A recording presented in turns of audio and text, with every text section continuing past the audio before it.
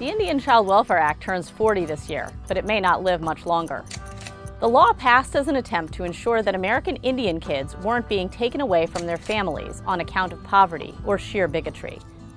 It says that preference for adoption of Indian foster children must be given to Indians, regardless of tribe, even over the objection of the children's biological parents, and even if that child has formed a years long bond with non Indian foster parents.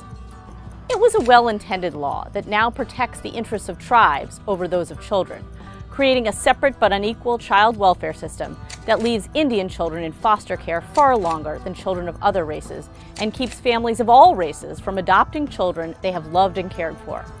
A federal judge in Texas recently declared the law unconstitutional, a violation of equal protection and federalism, and the Supreme Court will likely take it up as a result.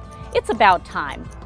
All kids deserve a loving, stable home. It's time to stop treating Indian kids differently.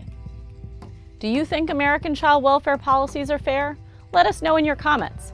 Also, let us know what other topics you'd like our scholars to cover in 60 seconds, and be sure to like and subscribe for more research and videos from AEI.